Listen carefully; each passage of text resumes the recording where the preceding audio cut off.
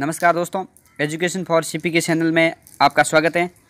आज मैं आपको पटवारी भर्ती 2019 से जुड़ी जानकारी और उससे संबंधित बेस्ट बुक के बारे में आपको बताऊँगा। एग्ज़ाम पास करने के लिए आपको ये बुक तो खरीदनी ही पड़, पहली बुक है जिसकी हम बात कर रहे हैं, वो है राजस्थान जीके आपकी पटवारी भर्ती में राजस्थान जीके भी बहुत बड़ा है और उसके लिए बेस्ट बुक है, वो है एक तो लक्ष्य राजस्थान।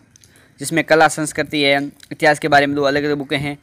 तो पहली तो है ये फ़र्स्ट भाग और दूसरा है ये भाग दो, जिसमें राजस्थान की कला, संस्कृति और एक में इतिहास के बारे में अलग बताया गया है। और तीसरी बुक है, वो है लक्ष्य वस्तुनिष्ठ पर्सन राजस्थान के हज़ार दो, दस हज़ार के क्वेश्चन दिखे हुए हैं। इसमें जो दस हज़ार क्वेश्चन हैं आपके। ठीक है, अगली बुक की बात कर रहे हैं, जिसका नाम है भारत का संविधान। भारत के संविधान के लिए पटवारी की बेस्ट बुक है, वो है भारत की राज व्यवस्था जो है एम लक्ष्मीकांत की बुक है, बहुत बेस्ट बुक है, जो पटवारी के लिए पास करने के लिए बहुत ही ज़रूरी है।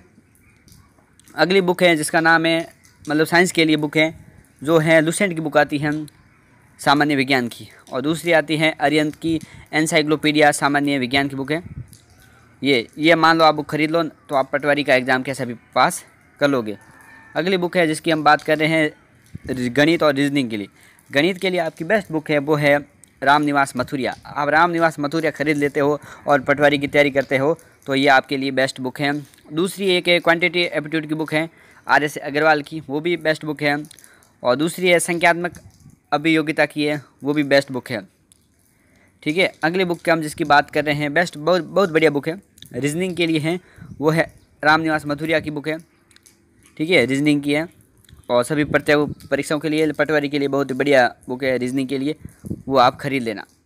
अगली बुक है जिसकी हम बात कर रहे हैं कंप्यूटर आपके कंप्यूटर में भी पचास अंक के सवाल आएँगे, पच्चीस क्वेश्चन आएँगे, उसके लिए पास करने के लिए आपको बेसिक कंप्यूटर नॉलेज होना बहुत ज़रूरी है। तो हम बुक बात कर रहे हैं लूसेंट की। ये लूसेंट की बहुत बढ़िया बुक आती है, ठीक है?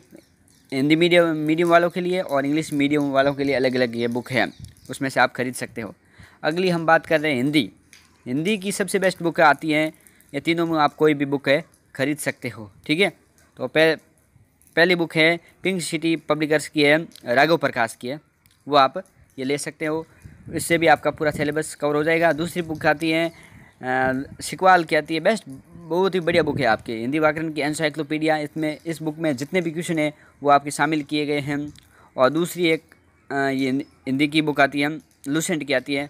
वो भी आप ये तीसरी बुक ले सकते हैं। यही बेस्ट बुक है और हिंदी व्याकरण की ये भी बेस्ट है और ये भी बेस्ट है। तीनों में से आप कोई भी बुक